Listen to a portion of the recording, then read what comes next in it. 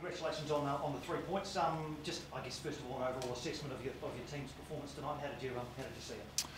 The most important thing was finding a, a way to win um, in injury time. You know, it's good teams do that, uh, and, and, it tells you a lot about what good teams are made of. The, the, the strong mentality, the togetherness as well, that never say die attitude.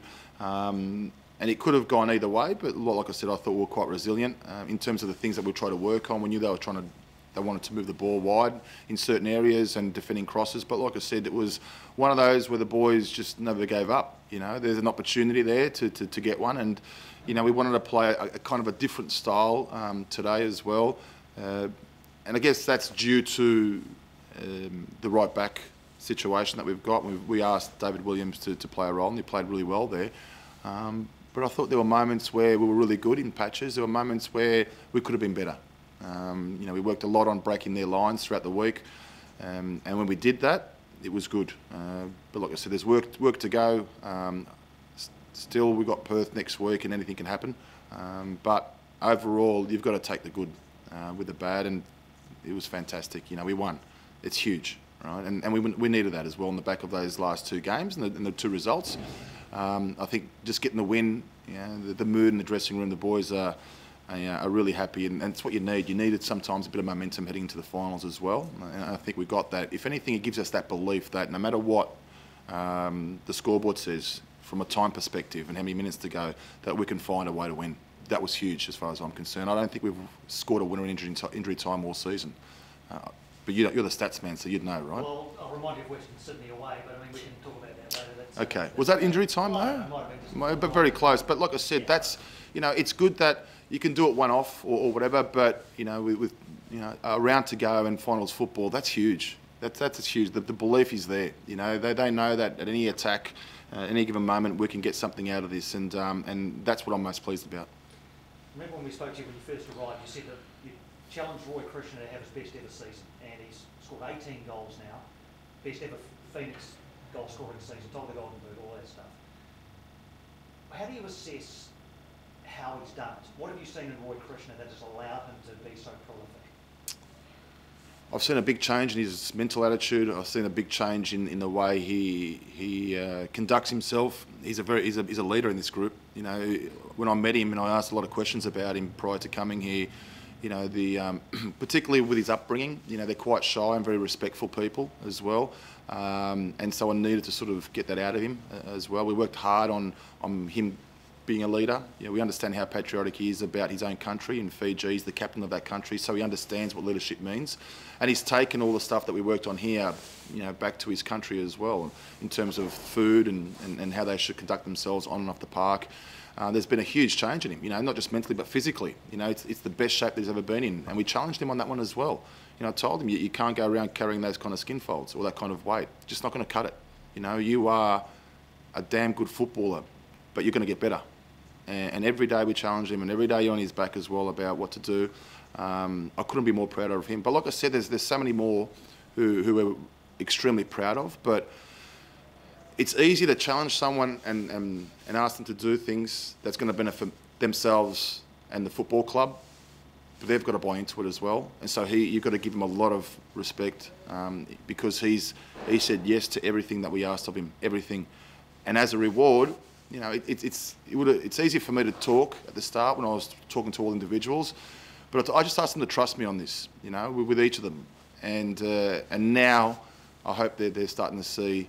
You know, the, the, rewards that come out of it. He deserves everything he gets. You know, he's a fantastic footballer. He really is. And uh, I, I, hope for his case that he gets it. It's great for our football club as well to have someone like that. And and one of the things that the the team and the players um, you know, challenged each other on was to try and have the, a top goal scorer in the competition because you know that you, are a good chance of playing finals football or going all the way if you, if you have someone like that in your team.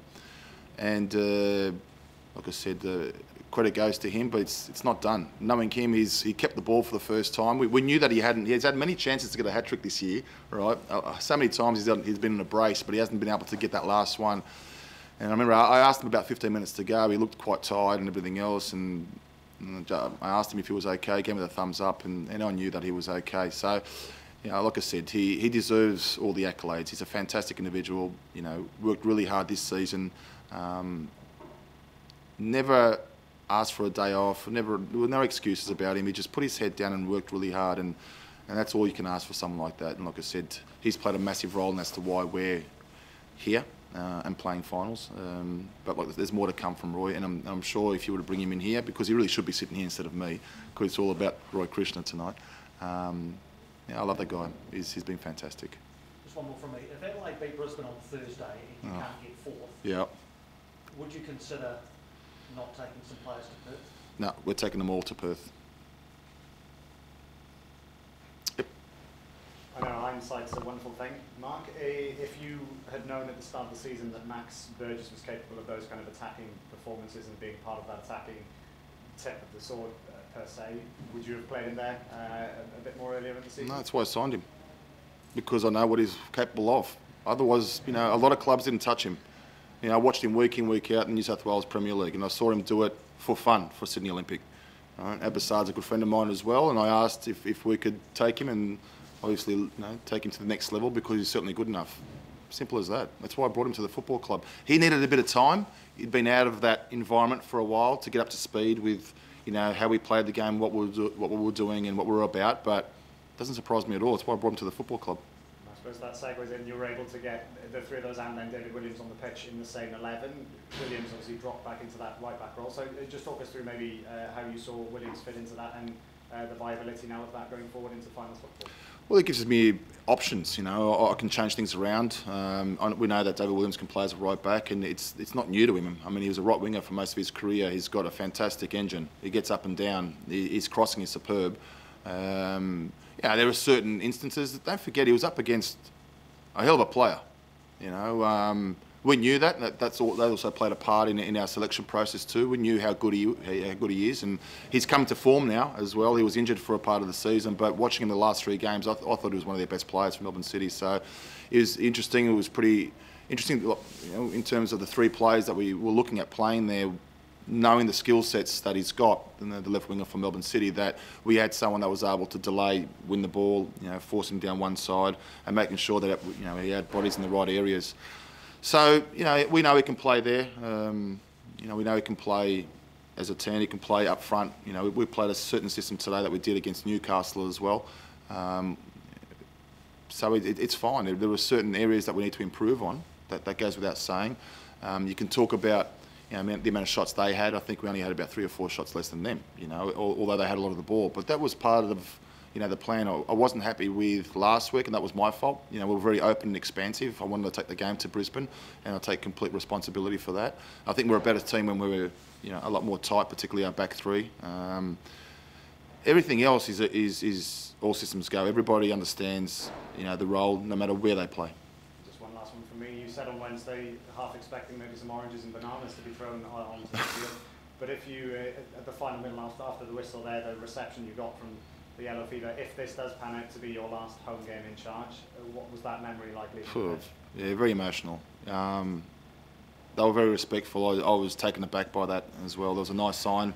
Uh, that was quite big. Um, I'm glad I didn't misspell my name as well, so that was that was always nice. Um, yeah, it was it was touching for, from from you know, like I said, uh, I don't know. I don't understand too much about what goes on. I know Piney asked me at the start, you know, do you understand how the fans are feeling before the start of the season? You know, it's it's always nice, um, you know, for people to to understand, you know, the job that you do um, and the amount of work that goes into it as well. Like I said, my intentions were always the best. I wanted the best for this football club. I wanted to try and make some kind of difference. It's up to others to, to determine whether that's the case or not. But like I said, I've got nothing but respect for, for those fans. I worked hard for them. Like I said, I apologised throughout the week for my decision, but uh, to see what happened afterwards was really touching. Uh, I'm sure, you know, my wife and kids would would be extremely happy when I give them a call after this as well about the reception that I got. So I, I can't thank them enough for embracing me and, like I said, even seeing the people around. Um, if it is the last time, it's uh, like I said uh, a few days ago. It'll, it'll last with me for a very long time. You know, it's it's it's beautiful. It really is. The whole the whole place is is, is great. So thank thank you. That's all I can say. Because on game day today, did you have kind of a different vibe just knowing this yeah, could be the final game? and it's gonna be- Yeah, feel, uh, not really. No, no. I, I try not to get too sentimental about those things. I, I think um, I think with decisions that I make on the football field tells you, tells you that as well sometimes. Sometimes players unhappy, you know, um, but I try to steer away from that as much as possible. I'd be lying if I didn't think about it at some stage during the day, you know, because you never know, and, and you, you know, you know that you you've, you've meant well coming in here. You've tried to make a, difference, you know, for the better as well. So, but I try not to affect me. You know, my job was to win a game of football, you know, and, and to make sure that my last message to my players were, these fans have been fantastic all season. You know, make them proud. Go out there, be fearless. Just let's just play, play. No, no pressure on us. You know, it, it, it doesn't matter where we're going to end up. I just want us you know, to play the way we've played all season, you know, with no fear, with no expectation. Just go out there and enjoy yourself. You know, put a smile on your face and do it for, for them as well. You know, if you talk about, you can talk tactical, and we did all that as well. But I just wanted, I wanted our fans to be proud of, of these guys as well, and, and, I, and I hope they were, and I think they would be. You know, knowing that you, sc- you scored a winner in the last minute. Um, the big fella above didn't do us any favours with the clouds and the rain, and it was a little bit you know cold. But it's good to see a couple of kids out as well. You know, it's always nice when the kids drag their parents out too. And yeah, like I said, it was uh, would have been great. One of the things then I told Courtney this at the start of the season. I would have loved to have seen this place rocking. You know, um, and I guess I've failed in that in that regard. You know, because that was one of the things that we kept talking about. Um, the bigger picture was that I saw in my head was, you know, 25,000 here. Um, and that Wellingtonians are really proud of their of their team and, and, and the players. so I guess uh, that dream that I had at the start probably didn't come to fruition. I'll keep dreaming. You know, you never know. Yeah, I guess uh, we were asking a lot of questions earlier in the week about how the team kind of respond knowing that you were leaving. Mm. Um, getting a stoppage time winner, I suppose that kind of answered our questions, right? Yeah, well, it's probably answered your question or anybody else that asked that question. Yeah, look, I understand the questions and um, and like I said, I, you know, I've always been very open, you know, with my club and, and my players too. And you know, it's uh, it wasn't anything new. You know, I mean, the last couple of weeks, I'll take the hit for that. You know, the way I set the team up, the way I wanted us to play. That's that's that's me. That's not the boys. It's, I don't think it's got anything to do with the external stuff. You know, I speak to them quite regularly. You know, and um, you know, I'm, I'm happy that you you can put something like that to bed with a result like this, and the way we won it as well. You know, there's a, there's a lot to be positive for. And like I said, that that moment, a moment can change so many things throughout a week. It's incredible. This game is incredible. You know, a moment like that where Roy gets his hat trick, you know, outside of his foot, just flicks around the corner, and you get that last minute winner um, is superb. You know, these boys will be buzzing. They won't sleep tonight.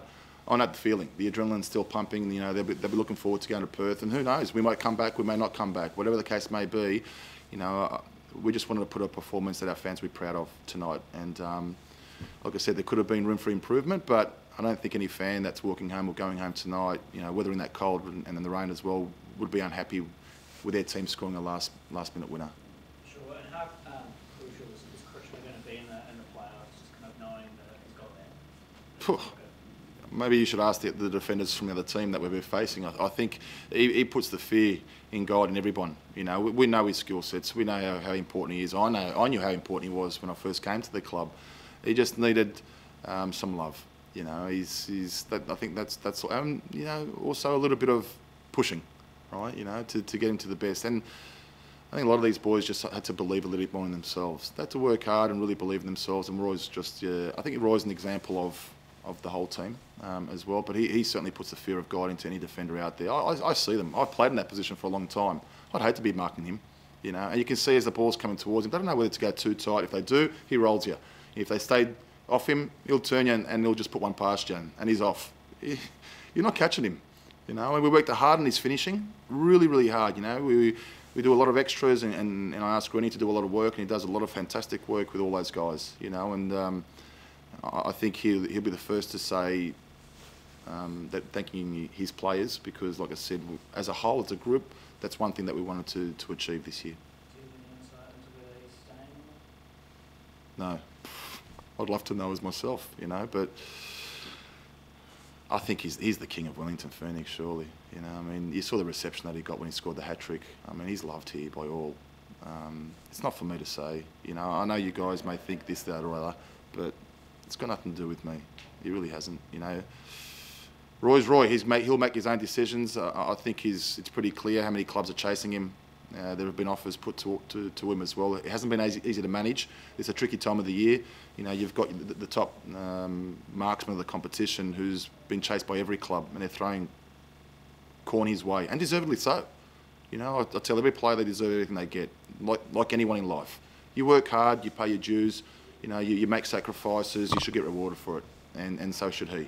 Um, as long as it doesn't affect this season, you know, because we want to create a moment, we want to create this season that, you know, none of us forget. Just one more, Rory. Um, in your 15 years of playing in the, reserve in the A-League, Yep. have you seen a striker that could compare to him, or is he Hmm. quite unique in the way he plays? I think it's quite unique. He's, he's unique in, in terms of you look at all the top goal scorers like Besart Berisha, for example. Um, you look at Archie Thompson uh, as well. You know, you look at Bruno Fornaroli. You know, all these guys are fantastic footballers. You know, he, one thing that he's got on them is pace. You know, he, he- he's got this electrifying pace that needed to be somewhat um, changed and, and to use it at the right time, you know, when he needs to come towards the ball as well. Um, he's got great skill about him, you know, um, but I think just the, his ability to get past players in, in 1v1 type of scenarios and, um, and his finishing is extraordinary. And don't forget, you know, these guys played in good teams. You know, all, all the top goal scorers normally play in good teams. You know, Roy's been this is not disrespectful at all, but you know, but Wellington struggled in the last few years, you know, and, and he still comes up trumps and scores, you know. So it was our job to try and, you know, get a team together that's going to be able to supply him with the kind of service that we know he requires and he needs. Having a look at him, you know, I knew exactly what his skill sets were, and I needed, I, need, I knew what, it, what was required below him or beneath him as well. So it's quite unique. It's hard to compare. I don't think it's it's fair to compare. I think he should just take this at this season, and, and it's just it's due, you know, uh, reward for someone that's worked extremely hard and has finally gotten what he's deserved for a long time, you know. And, and again, you've got to give the players a lot of credit because they wanted this for him too. Um, so everyone's different. All you know, all strikers are different. But um, like I said, I think it's just fantastic for our football club as well. You know, it's been a long time since uh, we had a top goal scorer in the league. Um, Jeremy Brockie, no. Uh, yeah, I don't think it was even top that year. was it? Smeltzy. Yeah, Smeltz. Smeltzy, that's right. Yeah, Yeah. yeah. But he certainly didn't get 18 with a game to go.